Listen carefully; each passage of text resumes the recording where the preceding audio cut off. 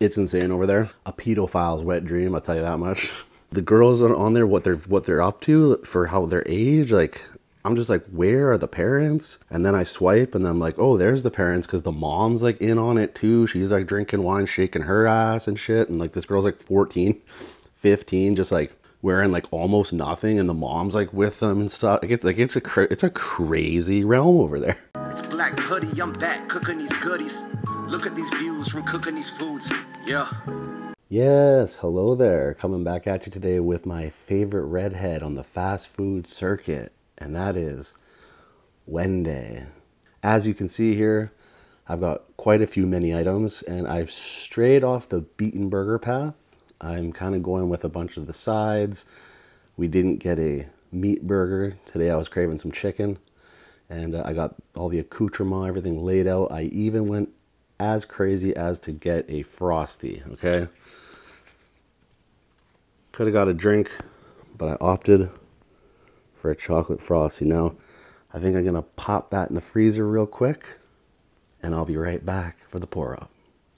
Okay, so gang's all here. I got myself a nice, just simple garden salad right off top. We're going to dress that up real quick with some ranch, of course, none other. We got the baked potato, sour cream. I put some of my own shredded cheese on there. We got chives, and then we got a nice bowl of chili with some shredded cheese that I did up and the Asiago chicken, bacon, cheese. That's what Asiago is, it's cheese. Lettuce, chicken sandwich. So, got that. And yes, that was just for presentation sake. That's what the chili came in, but I figured we got to get it in the clear bowl so you can have a nice, good visual on the chili. They gave me a nice extra little sour cream here, so I'm gonna plop that on the chili as well. Mm-hmm. She gonna be good. And they actually gave me this, which is a hot chili sauce. I've never had that included in my Wendy's meal before. So I say, why not? Ooh, that's weird. I don't think it's supposed to look like that, is it? Seems a bit runny. Weird. It's, whoa, that's crazy. That is intensely salty and quite spice. All right, we got the buttermilk ranch for the salad. I don't know if I'm going to regret having put that on my chili because uh, that's got quite the kick to it.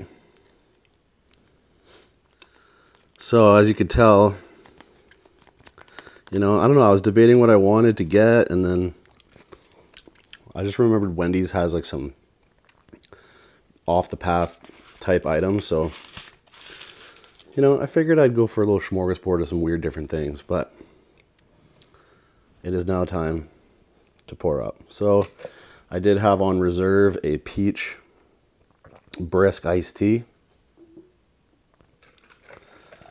Cracked into it last night, didn't finish the whole thing, so finish her off right now. Iced teas can't go flat, right? Can they? I don't think so. But that's it. Oh man, that's a good drink highly recommend that drink.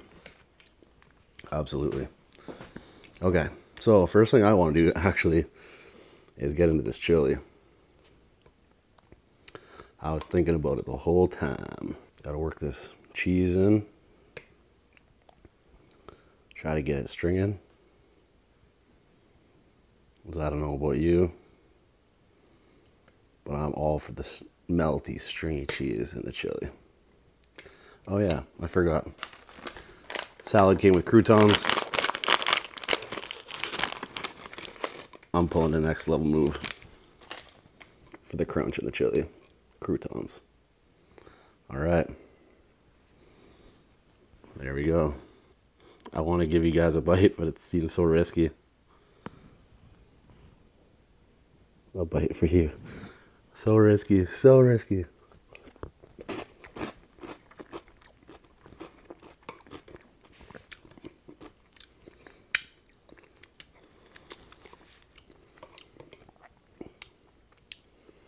Mmm, That is fantastic. I gotta pull it closer to me.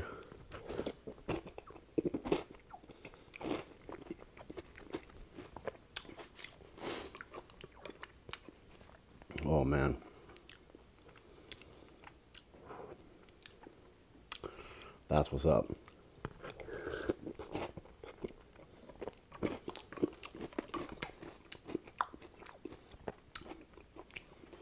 Hmm. Croutons in the chili was the right choice.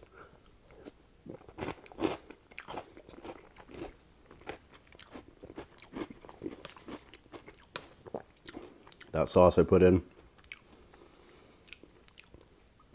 it's not uh, not phasing me like I thought it might.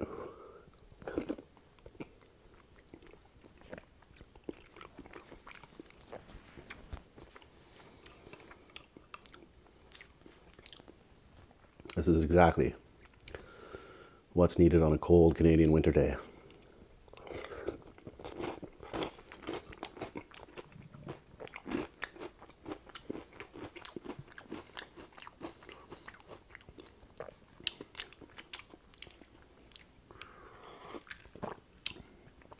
Okay, let's go ahead and try this burger.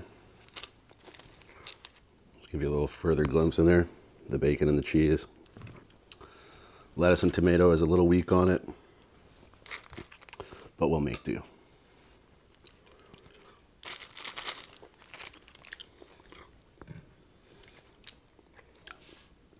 Let's see.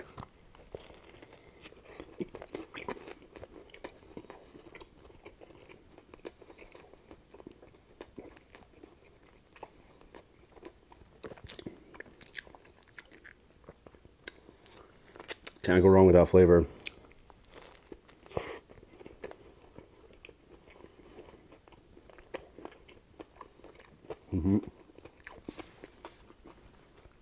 The uh, chicken is tender, moist.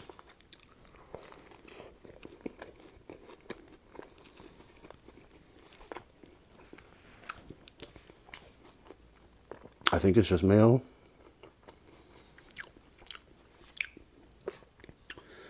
The bacon, lettuce, tomato, mayo combo.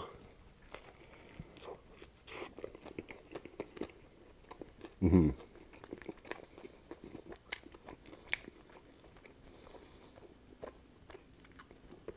Playing off the the Asiago, got a nice little funk to it.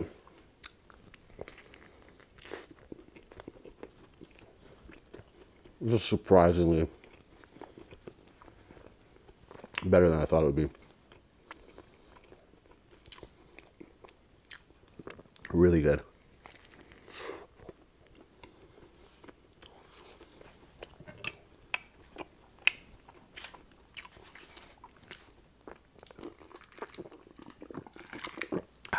Okay.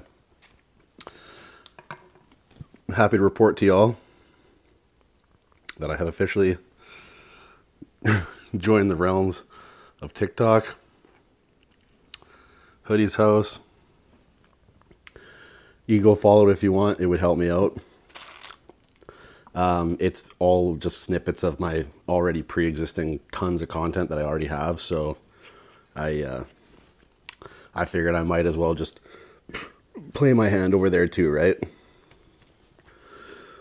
Just to see what happens. See if I can get any any new eyes on me. But I've gone to the dark side of TikTok. I always said like I will never join that vile app.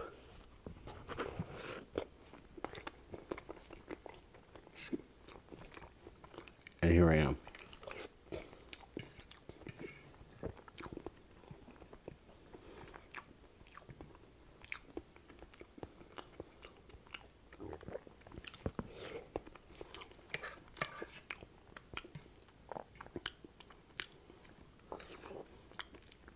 It's insane over there. A pedophile's wet dream, I'll tell you that much. I can't believe the just shit that occurs on there and just how man like just there's there's the girls on, on there what they're what they're up to for how their age like i'm just like where are the parents and then i swipe and then i'm like oh there's the parents because the mom's like in on it too. She's like drinking wine shaking her ass and shit. And like this girl's like 14 15 just like wearing like almost nothing. And the mom's like with them and stuff. Like it's like it's a it's a crazy realm over there.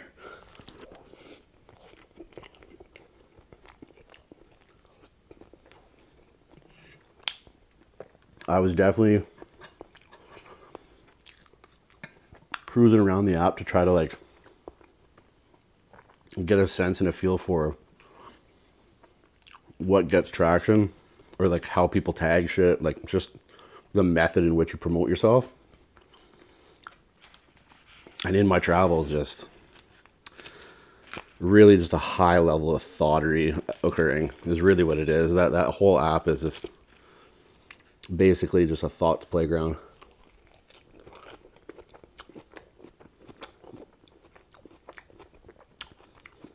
It is a horny, horny app. you can get into some like a bunch of other side genre stuff, but like the main things that get promoted are just like very sexual songs.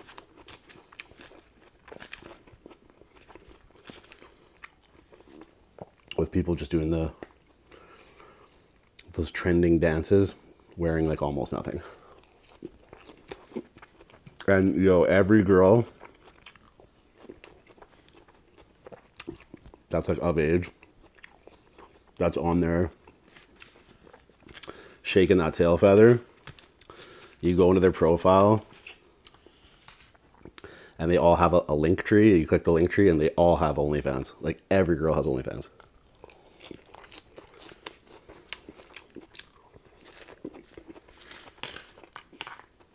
And I'm just like mind blown at the moral decay.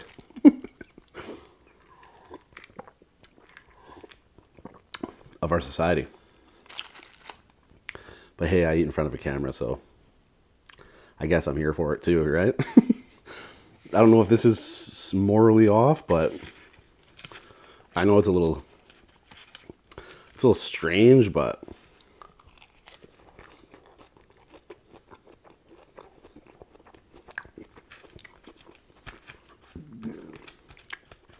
I don't think I'm, I'm not selling my body.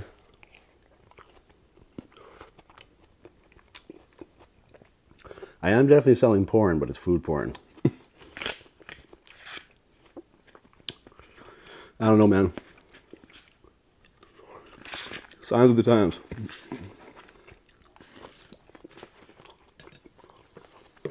But in my travels over there, I also got like there's people there's constantly people live. And your feed will uh, suggest you a live and you click into a live. And once you're in the live you can just start scrolling through people that are live. And I, I, I can't lie i got so addicted to that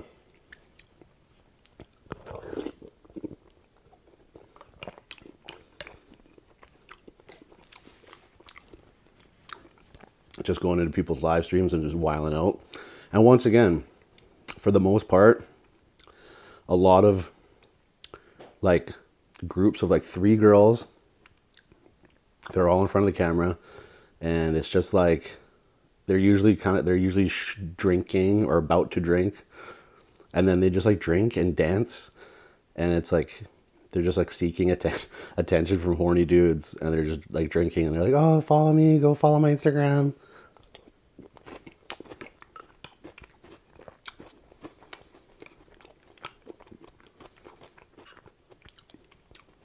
but there's some other other like weird stuff going on there too. Like there's, I guess for a lot a lot of it, there's just a lot of like people gaming. Definitely a lot of gaming.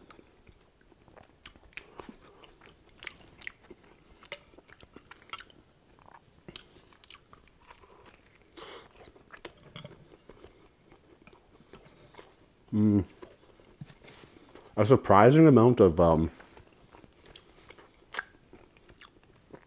like older women too. Like I'm talking like 55, 60.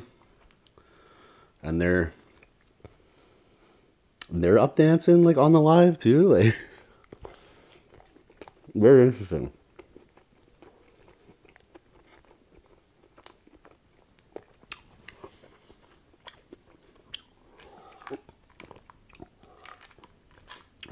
But I don't know. I don't understand the appeal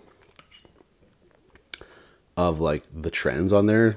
Like I'm down to just post these food things on there, but I don't I just don't understand the appeal of the trends. That said, I am tempted to try doing like the the lip syncing, the voiceover. Cause that shit looks pretty fun. I feel like I'd be good at it. I feel like I can make very expressive faces and like I can lip, lip sync pretty good. Those are kind of funny.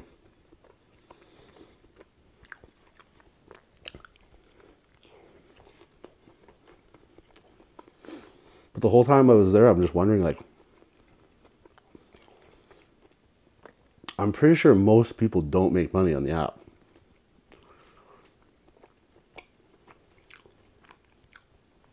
So, in my estimate, it's just like a lot of really bored people. Just like trying to pass time, which to me is just like, I don't know, doesn't seem like a intelligent way to go about social media just to do it like,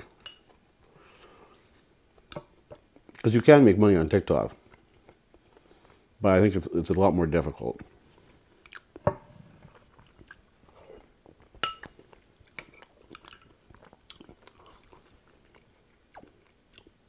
I know for sure that people can when you're live, people can like send you these like gifts or like these like whatever, but they they pay for them and then it like becomes money in your account kind of thing.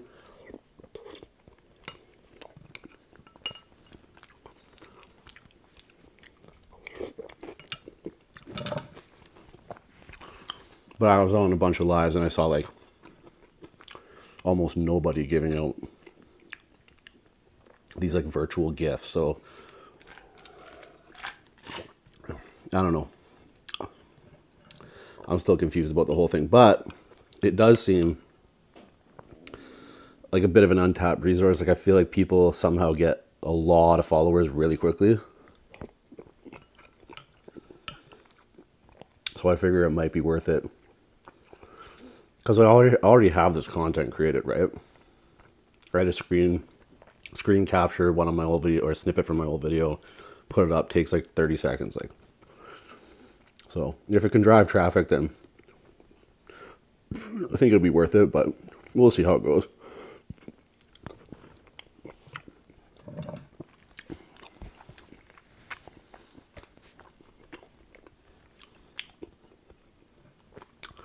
As you can tell, I'm not really feeling the baked potato.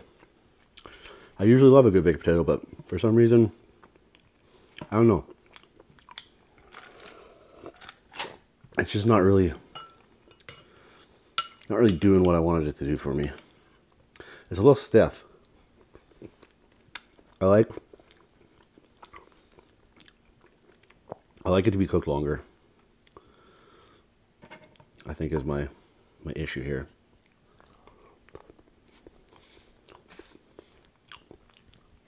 Yeah. Definitely. Okay, time for dessert. All right. Oh, man's caught the frosty, eh? It's like a little chocolate. It's kind of like a milkshake, kind of like a malt. Sure, you've all had one, probably, right? It's a little ice cream vibe.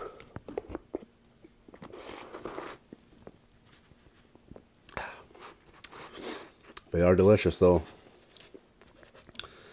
Pro move is usually when you get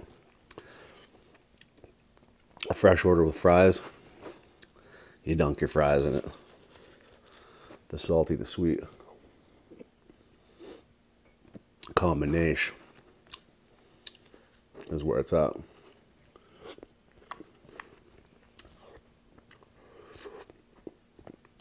But that's polarizing. Some people think you're messed in the head for doing that. And other people won't even accept you if you don't do it. So let me know who you are down below. I know it's a divided camp.